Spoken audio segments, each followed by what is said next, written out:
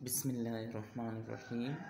Dear viewers आज के session के अंदर हम बात करेंगे एपोप्टोसिस के ऊपर, कि व्हाट डिफाइन करेंगे, कि व्हाट इज़ एपोप्टोसिस और इसके अलावा एपोप्टोसिस की मालिकुलर मैकेनिज़्म के ऊपर बात होगी, कि कौन सा अंडरलाइंग मालिकुलर मैकेनिज़्म उसके अंदर इन्वॉल्व होते हैं। तो सबसे पहले डिफाइन करते हैं कि व्हाट इज़ एपोप्टोसिस तो apoptosis is also called programme cell death इसके अंदर कुछ मालिकुलर मेकेनिज़्म इन्वॉल्व होते हैं और वंस ये पाथवे जब ट्रिगर हो जाए तो एपोप्टोसिस प्रोसेस स्टॉप नहीं होता और ये एंड होता है at the end of cell death apoptosis में भी फिजियोलॉजिकल और पैथोलॉजिकल यानी ये नॉर्मल प्रोसेस भी हो सकता है और ये पैथोलॉजिकल प्रोसेस भी हो सकता है. इसके अलावा इसके अंदर कोई इम्प्लामेटरी प्रोसेस नहीं होता और एपोप्टोसिस के अंदर कोई ये सिंगल सेल के अंदर भी हो सकता है और ये मल्टीपल सेल्स के अंदर भी होता है। तो सबसे पहले बात करते हैं अंडर एक्सट्रेंसिक पाथवे की, जो एपोप्टोसिस प्रोसेस की कहाँ बनते हैं। तो सबसे पहले हर एक सेल के ऊपर डेथ रिसेप्टर प्रेजेंट होते हैं मल्टीपल डेथ रिसेप्टर प्रेजेंट होते हैं, जिसको हम tumour necroting factor alpha one या tumour T N F one receptor भी कहते हैं, या इसको हम डेथ रिसेप्टर भी कहते हैं। ये डेथ रिसेप्टर वंस ये जब ट्रिगर हो जाए डेथ रिसेप्टर तो एपोप्टोसिस प्रोसेस स्टार्ट हो जाता है। ये है डेथ रिसेप्टर जिसको हम tumour necroting factor one receptor भी कहते हैं। सेल के पास पास का इनेज प्रोटीन प्रेजेंट होती है, जिसका काम होता है सेल के लिए इन्वायरमेंट सुटेबल है या नहीं है, उस इन्वायरमेंट को सेंस कर रहा होता है। जब फास्ट लाइगेन को पता, लग जाए कि ये इन्वामेंट सेल के लिए सेल के सर्वाइव ग्रोथ के लिए सुटेबल नहीं है तो फास्ट लाइगेन क्या करते हैं? वो इस डेथ रिसेप्टर या डेथ बटन को प्रेस कर देता है। जब फास्ट लाइगेन का tumour necroting factor one receptor के साथ बाइंड हो जाते हैं तो ये इंट्रा सेलुलर सिग्नल मैसेज पहुँचा देते हैं। ये जो डेथ रिसेप्टर वाले प्रोटीन है, इसको हम कहते हैं this is transcellular transmembranous protein इसका जो इनर वाला पार्ट है, ये वाला जो पार्ट है, इसका डेथ रिसेप्टर का, ये एक्टिव हो जाते हैं, जब इसके साथ पास लाइगेन अटैच हो जाती है, और ये एडप्टिव प्रोटीन को एक्टिव कर देता है. दिस इज़ एडप्टिव प्रोटीन तो जब एडप्टिव प्रोटीन एक्टिव हो जाते हैं तो ये क्या करते हैं कि सेल के अंदर प्रो प्रोटोलाइटिक एंजाइम या प्रो कैस्पेसिस यानी इनएक्टिव फॉर्म में एंजाइम प्रेजेंट होते हैं। इनएक्टिव फॉर्म में एंजाइम प्रेजेंट होते हैं और उस एंजाइम को हम कहते हैं pro caspases for example this is a pro caspases enzyme और ये वाला जो ब्लैक इसका पोर्शन है इस प्रो कैस्पेसिस का, ये इनहिबिटरी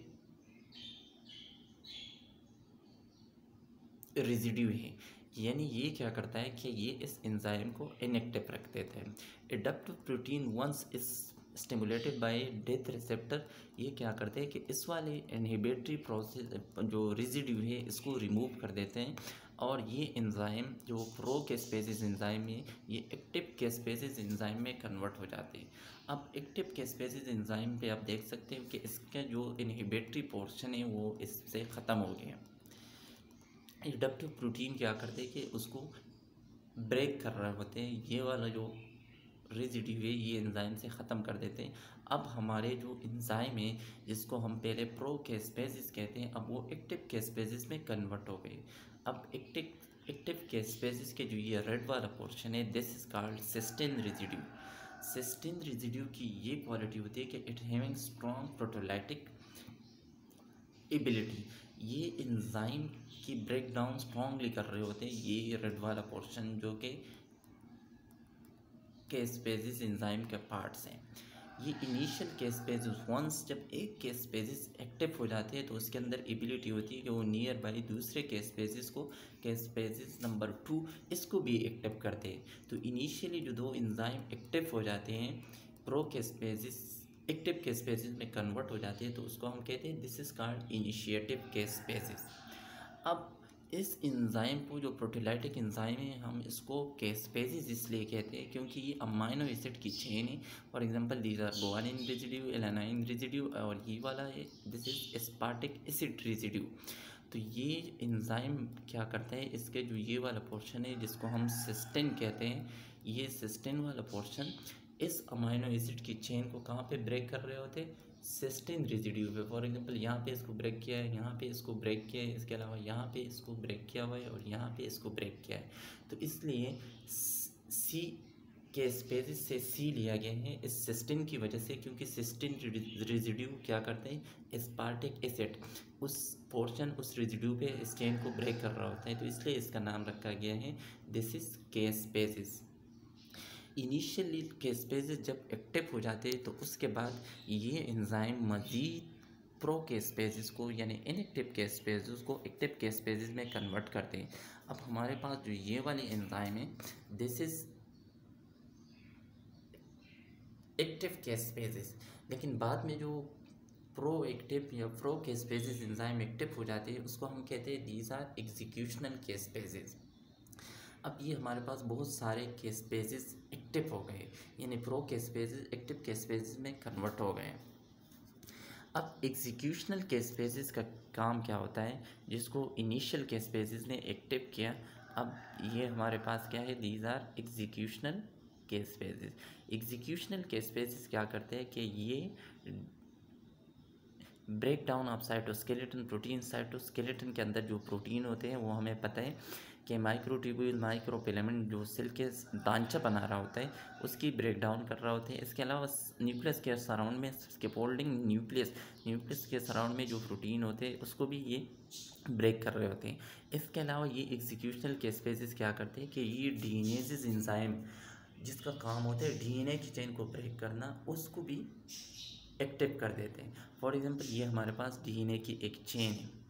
जो नॉर्मली रेप होता है हिस्टोन प्रोटीन के सराउंड में, ये जो ब्लैक कलर में नज़र आ रहे हैं, इसको हम कहते हैं for example these are histone protein और हिस्टोन प्रोटीन डीएनए के चेन को, की प्रोटेक्शन के लिए इसके सराउंड में होते हैं। यानी डीएनए के मालिक्यूल्स को हिस्टोन प्रोटीन ने रेप किया होता है।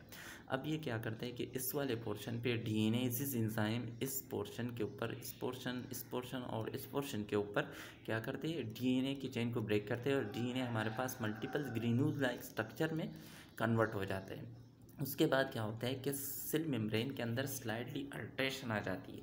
यानी ब्लिप्स बन जाती है। These are blebs in the plasma membrane these are blebs in plasma membrane और एक ब्लिप्स यहाँ पे हमने बनाए हैं। तो इससे मल्टीपल प्लाज्मा मेम्ब्रेन के अंदर मॉर्फोलॉजिकल चेंजेस आ जाती है और इसको हम कहते हैं ब्लिप्स इन प्लाज्मा मेम्ब्रेन अब उसके बाद क्या होता है कि इस ब्लिप्स वाले पोर्शन से कुछ केमिकल्स रिलीज़ होते हैं और उस केमिकल्स को ये जो ब्लैक में नज़र आते हैं this is secreted by the blebs parts of plasma membrane इसको हम कहते हैं दीज आर ऑप्सोनेन इस वाले पोर्शन से भी ये सिक्रेट हो गए हैं तो इसको हम यहाँ पे कहते हैं कि दिस इज़ ऑप्सोनेन ये वाले एंजाइम इसके अलावा सेम इज़ इट इस वाले पोर्शन से भी ये एंजाइम या ये मालिक्यूल्स ये केमिकल रिलीज़ हुए, इसको हम ऑप्सोनिन कहते हैं.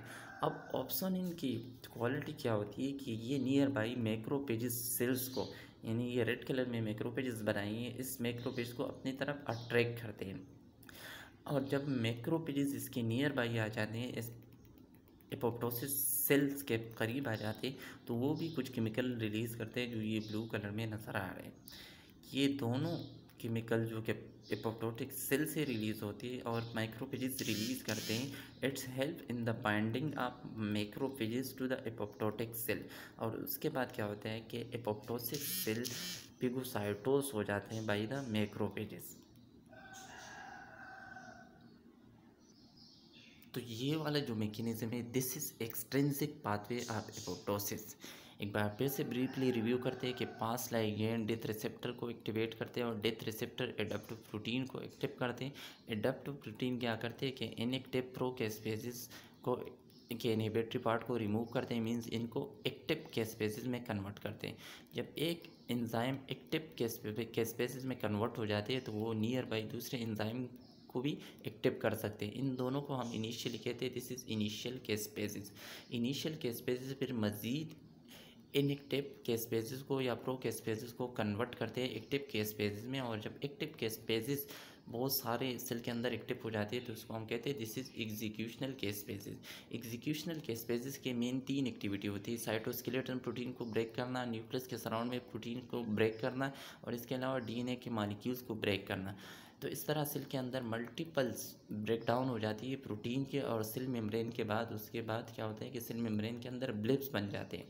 ऐसे आउट पोर्शन या हम कहते हैं मॉर्फोलॉजिकल पोर्शन बन जाते हैं, उसको हम कहते हैं these are blebs in plasma membrane इस ब्लिप से एक किस्म के केमिकल रिलीज़ होते हैं या जो इस ब्लिप्स के ऊपर फास्फोलिपिड्स के मालिक्यूल्स होते हैं, उसके अंदर स्लाइटली अल्ट्रेशन आ जाती है और वो अल्ट्रेशन क्या करती है कि वो नियर बाई मैक्रोपेज को अट्रैक्ट करती है अपने साइड इसके अलावा इससे केमिकल रिलीज़ होती है, जिसको हम ऑप्सोनिन कहते हैं, वो भी मैक्रोपेज को अट्रैक्ट करते हैं।